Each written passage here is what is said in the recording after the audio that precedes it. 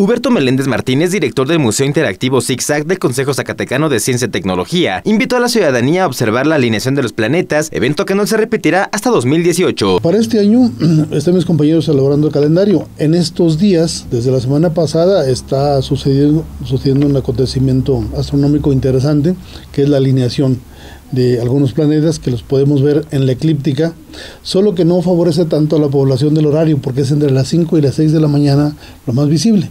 Mis compañeros lo que han hecho es tratar de darle difusión a este acontecimiento a través de redes sociales. Señaló que durante el resto de enero y parte de febrero se tendrá presente la alineación de cinco planetas perceptibles a simple vista, Júpiter, Saturno, Marte, Venus y Mercurio. En Zacatecas se recomienda buscar lugares alejados de la contaminación luminar, es decir, buscar espacios donde la luz eléctrica de las casas y edificios no vaya a afectar la visibilidad de los planetas. Pese a que el ZigZag no realizará algún evento especial para la observación estelar de este fenómeno, señaló que la ciudadanía puede apreciarlo a simple vista aproximadamente a las 6 horas, es decir, en un horario donde apenas comienza a verse la luz del sol. Precisó que lo recomendable es buscar la trayectoria natural del sol, la cual se encuentra hacia el sureste. Claudio Montes de Oca, NTR Televisión.